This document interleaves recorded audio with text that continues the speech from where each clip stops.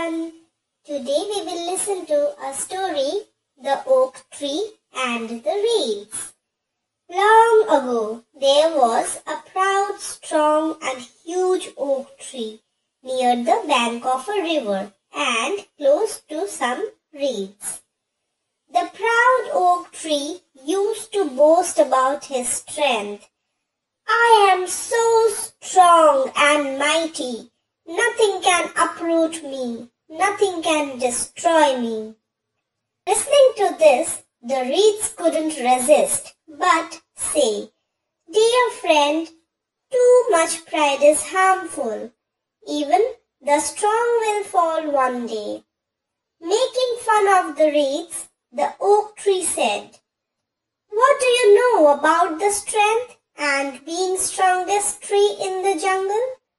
Suddenly, the wind started to blow. As the wind started getting stronger, the reeds bowed their heads. Watching this, the oak tree said, So weak you are. If the slightest of winds make you bow your heads, then how would you survive the strongest of storms? Proudly Oak Tree continued to laugh at reeds. One day there was a storm in the forest.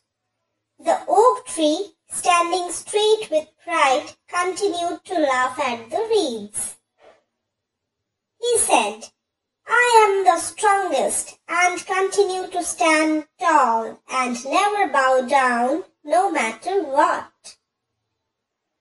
The storm kept getting more furious and soon took its peak.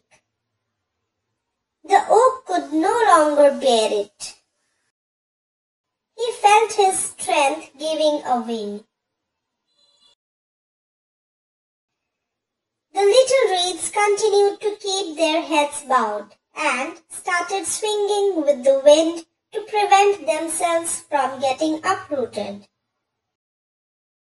But the oak tree, which stood straight and tried fighting the strong storm, soon broke down and fell in the river. That was the end of the proud tree. When everything was calm again, the reeds stood straight, whereas the proud oak had fallen. The moral of the story is, we should not be proud of our strength. Nothing in this world is immortal.